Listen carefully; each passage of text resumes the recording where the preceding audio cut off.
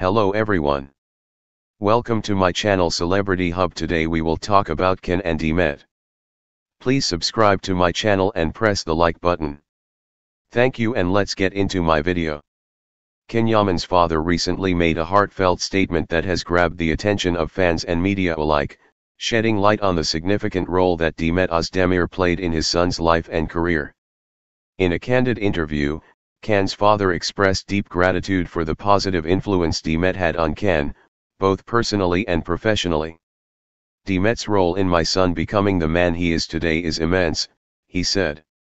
He went on to explain that during the time Can and Demet were working together, particularly during the filming of the hit series Erkenci Kuş, Early Bird, Demet's support and encouragement were instrumental in shaping Can's growth as an actor and as a person.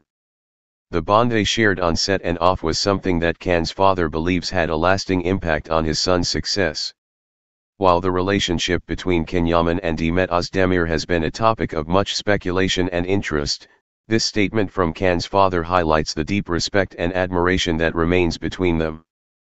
Fans have long admired the chemistry and connection the duo shared, both on screen and in their personal lives, and this acknowledgement from Can's father only adds to the legacy of their partnership.